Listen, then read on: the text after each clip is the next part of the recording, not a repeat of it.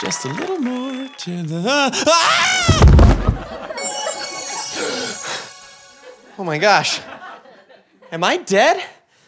Have I always looked that bad in those pants? Aaron Fielding, you're dead. You look really bad in those pants. Come on, I'm here for your soul. What? No, there must be some mistake. I thought so too, but it turns out redheads do in fact have them. No, no, I mean, why am I going with you instead of going to heaven? Don't blame me, this is just the results of the coin toss. Is that uh, pizza fresh? I don't care. Coin toss? Yeah, it's uh, when two people flip a coin and they guess whether it's I know what a coin toss is. I j- Okay, good, because I was about to be like, you dumb. My eternal judgment was decided by a coin toss? No, well, sometimes it's difficult to know where to put someone when they die. This is terrible, by the way. So I was right on the line between good and evil. No, nobody wanted you. But you said there was a coin toss. Yeah, and I lost. you think I'm here because I want your soul? No. Trust me, this is more my punishment than yours. Am I that bad? No, I love bad. Bad is like my whole thing. If you were bad, I'd be doing cartwheels right now. You're not bad, you're boring. You are the most blah human being. Oh my goodness, is this a Velcro wallet? Is Velcro boring? I wish you could die twice.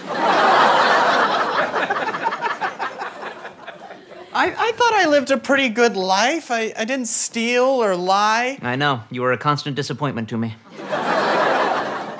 But that's good, right? It's not like I killed anybody. Oh, you didn't kill anyone? Well, let's get you a seat in heaven next to Mother Teresa. You know, when people talk about her accomplishments, they usually don't mention how many people she didn't kill.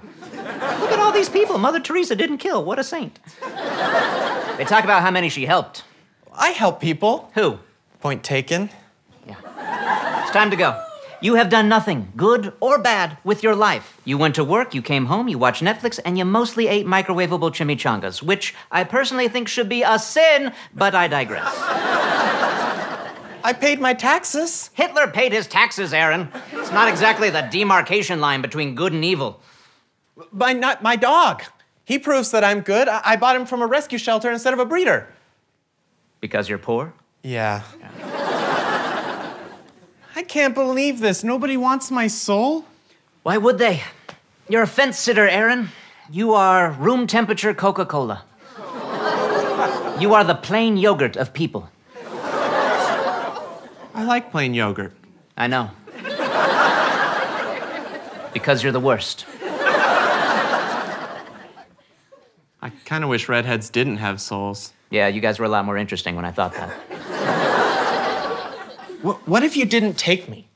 What if you let me return to my body and give life another try? Hmm. Ordinarily, second chances aren't really my domain, but I do hate you. All right, fine. You can go back to your body, but please remember, Aaron, good isn't just the absence of bad, it's also the presence of good. You want me to be good so you don't have to see me again. Yeah. good luck, you human rice cake.